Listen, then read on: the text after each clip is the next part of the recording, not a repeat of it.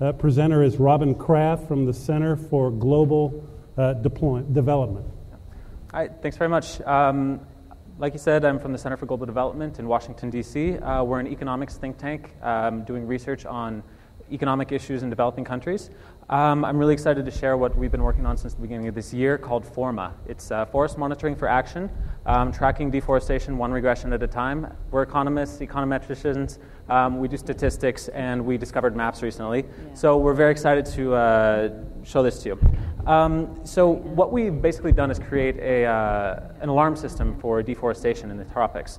Um, so it's inspired by uh, all the talk about REDD, reduced emissions from deforestation and uh, forest degradation. Um, and there's a lot of money on the table, hundreds of millions or billions of dollars. And as economists, we're interested in uh, when there's a lot of money um, on the table, and uh, especially for developing countries, because this would all go to developing countries for forest uh, conservation.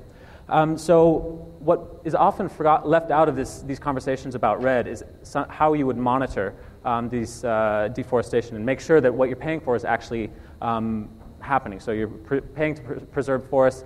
Is it actually happening on the ground? So um, there's nothing standardized that's available for across the tropics. So we decided um, to uh, try to uh, create a tool that would allow us to do that. So what we did is um, take uh, a bunch of different data sets, the Green Index um, or NDVI from um, the MODIS satellite, available at one kilometer resolution, or that's what we're using every month. We use fires measured every day also with the, the MODIS um, sensor. And um, we use a number of other data sets and run them through a series of time series regressions um, and probe it, a probit model and produce probability maps of deforestation um, for the tropics. Um, so I'm going to show you um, a section of Indonesia. so this is Riau.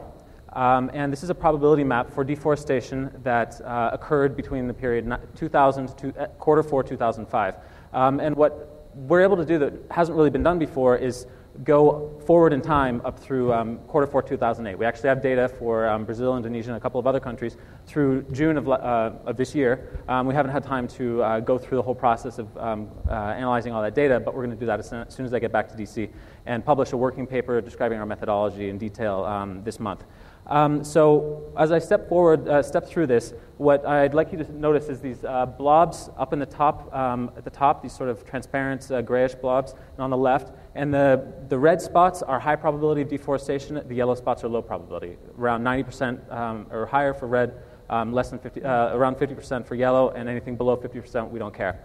So now we're in quarter four, 2005, and if we step through this, we can see deforestation start into, to eat into um, the protected areas and spread across this, uh, across this landscape. And so this is probable deforestation, and we're depending on a, we're, we're trying to find a statistical signature for deforestation. So I'm going to show you a little bit about um, what we've done uh, using Google Earth, or what we could use doing, uh, do using any um, software that does anything like Google Earth. It's a very flexible system. We're just writing KML files. Um, we could uh, use uh, any technology that reads those. Um, this is simple and easy um, which is something that we've been uh, really interested in trying to uh, address throughout this whole process. We want something that's accurate, fast, um, computationally, computationally not too intensive, and um, easy to understand. Um, so, what we're looking at again is that same part of Indonesia, again in Google Earth. Um, and uh, instead of looking at this raster image, um, what's more interesting is if you convert that to points. So, if we uh, zoom in a little bit, you can actually click on any one of these points and get information about what happened in that particular pixel um, since 2000. So um, I'm just going to pick on one here. Um, this shows down at the bottom in the, the, green wiggly line, that shows the history of the green index. So what we're looking for is a drop in the green index that um, would be a signature of deforestation. So if um, you have forest that's green, it looks green from space, and then suddenly it's not, that is um, there's a strong probability that that is actually um, a form of deforestation. If there happen to be fires around the same time, there's that big drop or a sustained trend, a downward trend, then that's also something we tag as deforestation. I'm not going to go into the verification that we've done, but, the, um, but the, we've been using um, higher resolution data to fit this model, and um, the fit is very good. So um, we're going to be rolling this out for Brazil and Indonesia later on. But basically, you can click on any one of these. Um, any one of these uh, dots, and you get information about that particular pixel.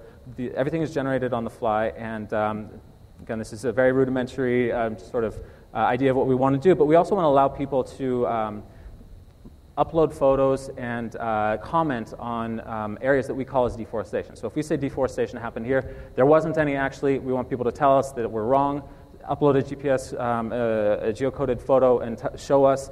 Um, and uh, that's, that's the kind of transparency that we're hoping to get. Visit us on the web at cgdev.org slash forest. Thank you very much. Nice job.